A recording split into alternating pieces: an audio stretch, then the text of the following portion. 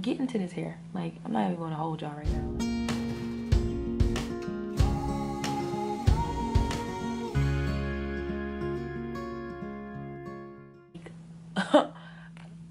okay guys. Welcome back to my channel. I'm a little bright today but because the sun is shining in here but can we get in on my skin real quick? Can we see this? Now i've been taking care of this for a while now. Um and it's showing up okay it's like listen listen honey. This video is gonna be great.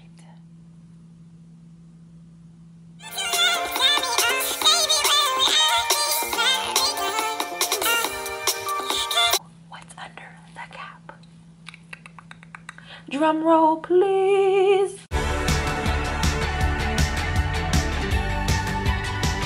Okay so you just press and you just lift it off of your head. I love this thing. After you're done it's like a little hot. All right sorry. So then i just go see i just like shook my head and it falls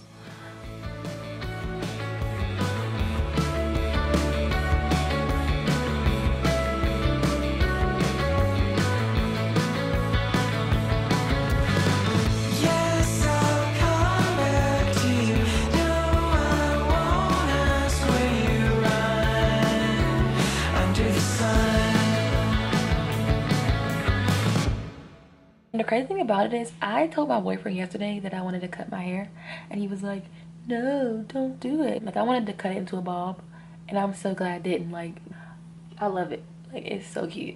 I can do anything with this hair. Like I feel like I can just go outside and just like call birds. Ah, ah. I've been here two months. I cut bangs about a month ago, and that's why my hair is like like that.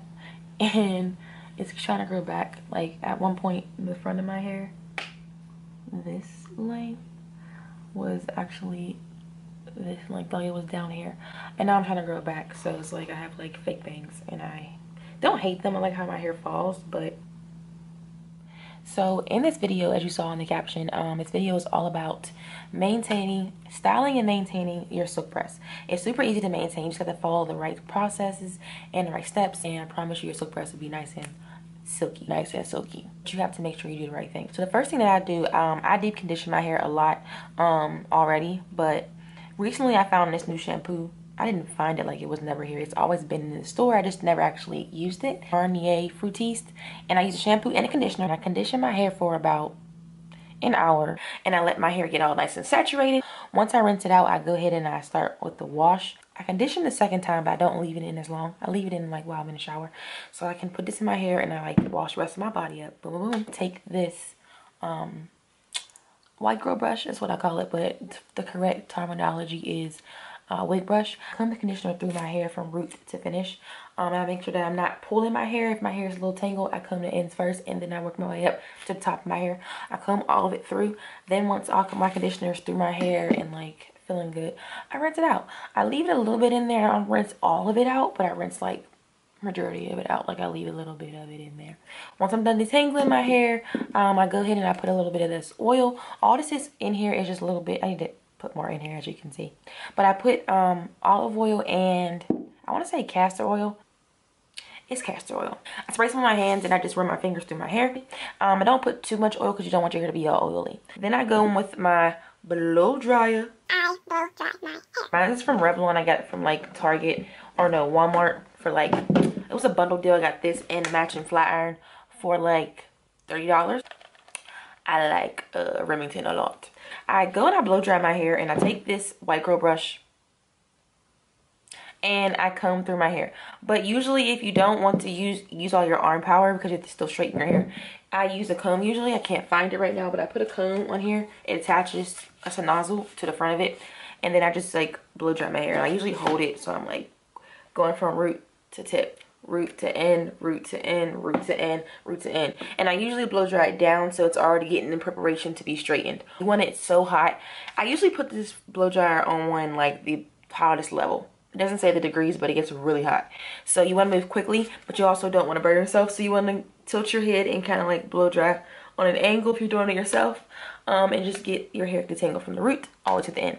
Once your hair is like really, really fluffy, like to the point where it's so fluffy that it's laying down and you basically don't even have to straighten it, comb through it again with this brush, make sure all my tangles are out, make sure my roots are not too fluffy. You want your hair to be fluffy, but you don't want your roots to be really, really like thick. So I part my hair in the middle, I go in and I redefine my part. I go in and I get my flat iron and I love this flat iron. This is also from Remington. That's why I like this one because it comes with a nice little stand and you can put it wherever you want to put it. Then you're going to flat iron it to the point where it's so straight. I take my comb usually but I take my hair and I put it between the two plates. Take my comb and I comb down, but you gotta be very careful. Take my flat iron and follow the comb down my hair slowly. So I'm combing my hair as I'm flat ironing. So I'm getting that bone straight effect. Once I do that, if you're gonna clip your ends, you can clip them then or you can clip them while your hair is blow dried. That's your choice. I choose to do it while it's blow dried. These can be used for lots of things. I like to section my hair off and I clip my hair up, take my flat iron, and then I start to bend. I curl it the way I want to curl my hair. So I put this silk paper, which is this plastic wrap, um, Kroger. You can get it from Walmart. You can get it from anywhere. Take my big rake comb, which is very important. You need a rake comb. This rake comb comes in handy because you can take your hair and not comb the curls out. So you're combing your hair into a nice circular motion, combing it around. So you're holding your hair and you're taking this plastic and you're gonna swing it. That's what I do. I swing it on my head, then I hurry and I grab my hair and flatten it. Hold this piece down, and then I wrap it, stretch it, wrap it, stretch it, wrap it really tight around my hair. Once it's around my head, then you get in formation, it sticks. So you don't need anything else but paper, but these clips come in handy too. Go to your local beauty supply and get you a portable, transferable, carryable profitable, workable, importable, handy dandy blow dryer. So take it and you put it on your head. This has a stretchy part inside of, inside of it. You take it and you put it on it. It stays on there. anyway, so this is what it does. It gets really hot ooh, and it blows away. So don't put it on really high heat. I suggest you put it on like a medium, not blown away. I also suggest once on your head, turn this off because I can't hear myself. What I also suggest is that you want that blow dry on your head for at least five minutes. It's hot, okay? It's very, very hot. So you want to take this button, let it get hot, press it. Let it get hot for 10 seconds, press it for 10 seconds. Let it get hot for 5 seconds, press it for 5 seconds. Also important that when you have this on your head connected to this blow dryer, if you turn the heat up really, really high, it's going to blow this thing off your head. So I suggest you to actually turn it down to a medium speed. That's why you couldn't can hear me because the blow dryer was up so loud. Okay. And that's what you do. So your head's not on fire. Okay. It hurts. When you have your hair ready to wrap it up, I like I would suggest always using a nice silk scarf. Silk scarves always get you where you need to be. It's silk. I love the fact that it's silk. You know, what, why wouldn't you want to put a silk scarf on your head? I mean, I also have a bonnet, but a bonnet was going to make my hair move around. I like my hair to stay flat. Um, I make sure that I comb my hair very, very tightly and that um, it's going in, in the desired, you know, direction and all that. The tighter your wrap, the better your doobie. Or if they say doobie. The tighter your wrap, the better it's going to be. I don't sweat. I don't sweat with silk, and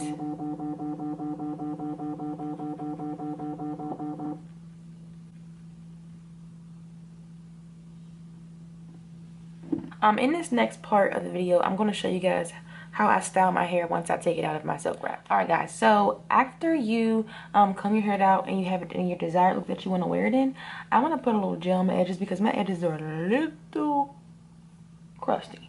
When doing your edges, you don't want too much grease in your hair. You don't want too much product in your hair. Like I said, my hair, whenever it gets a little bit of grease, a little bit of sweat, a little bit of anything, a little bit of oil on it, it starts to get crusty. So my suggestion is to take your brush, preferably a white girl brush or a white tooth comb. I take my handy dandy little clips, my grandma clips, and I clip along my hair. I scoop the gel.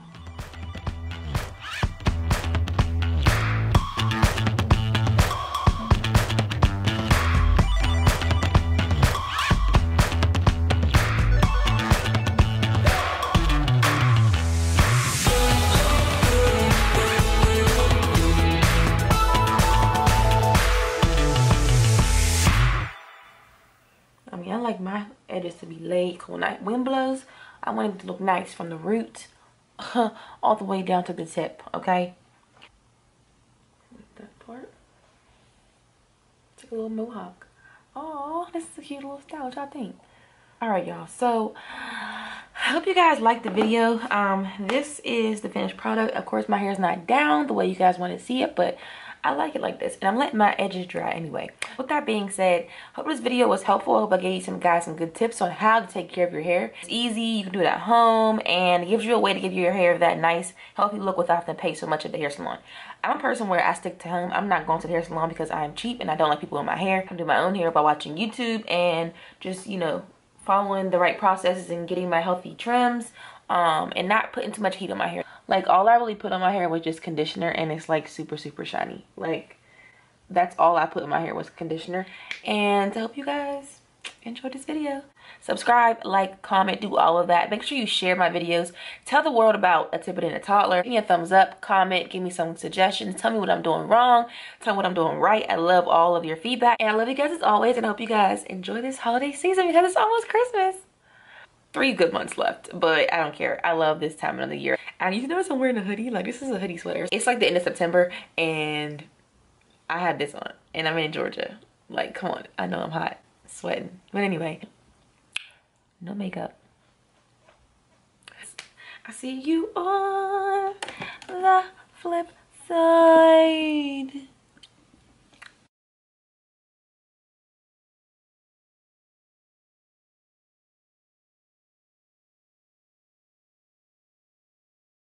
But yeah, if you guys are not subscribed to my channel, we have issues because I keep telling y'all every time I get on this channel and I tell y'all to subscribe and y'all don't subscribe or you don't like or you don't tell your mom or your grandma about my channel, I get upset.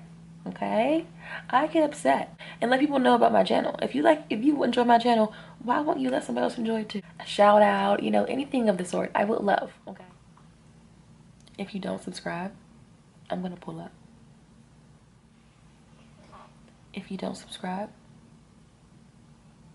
I'm coming with them goons. If you don't subscribe, you're gonna miss out. If you don't subscribe, we got issues. If you don't subscribe, if you don't subscribe, if you don't subscribe,